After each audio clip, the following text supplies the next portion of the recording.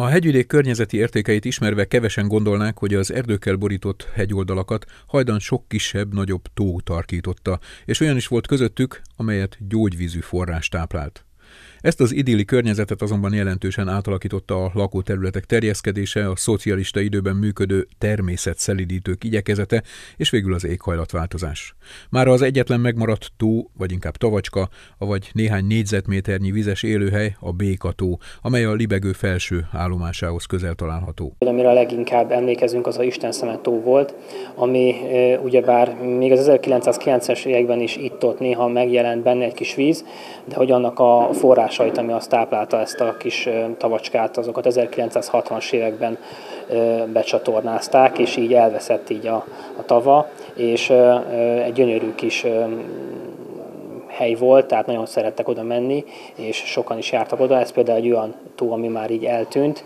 De ezen kívül természetesen a hegyvidéken nagyon sok az egészségügyi intézmény volt, és ezeknek szinte mind-mind voltak különböző fürdőhelyei, és ezeknek mind különböző híresebb források vagy melegvízű források adták a, a táptalajt. A történetkutatók szerint az sem véletlen, hogy a Városmajori Szívklinika is ott van, ahol van, ugyanis már majd egy évszázada is több egészségügyi intézmény és gyógyfürdő működött a közelben, az ott feltörő gyógyvizet használva.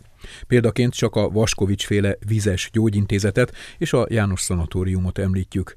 Mára ezek a források elapadtak, az egyetlen fürdő a közelben a Városmajori úszoda. Tavaly vettük észre mi is, hogy 1851-ben már a Hölgyfutár nevezetű újság beszámol arról, hogy például fönt a Zúligetben volt egy szarvasfürdő, az egykori Lasztoszki major és a szarvas vendéglő környékén, amit egy nagyon kifejezetten meleg, kénes vízű forrás táplált, és aztán érdekes mód, hogy már az 1880-as években is az újságok keresték, hogy hol lehetett ez. A feltételezések szerint az 1860-as évek végén volt néhány nagyobb áradás, ami elmosta a fürdőhelyet is. Ám hiába ömlött fentről lefelé a csapadékvíz, ha lentről nem folyt felfelé az ivóvíz, és az 1800-as évek elején még nem volt vízhálózat.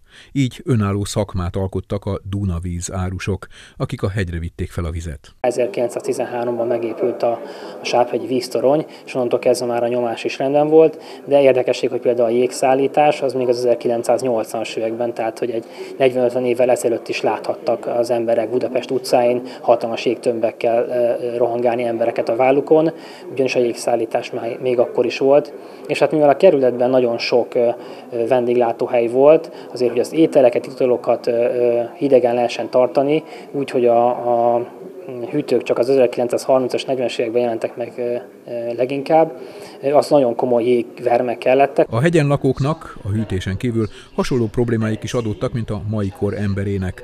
A fentről lezuduló csapadékot fel kellett fogni már csak azért is, hogy legyen víz a hatalmas kertek locsolásához. Többen úgynevezett vízgyűjtő házakat is építettek, ezek közül egyet még ma is láthatnak a Hollós úton. De az egyszerűbb módszerekről többen is értekeztek, közülük talán említésre méltó Jókai Mor, aki a kertész gazdászati jegyzetekben osztotta meg a legfontosabb információkat a hegyvidéki érintettekkel.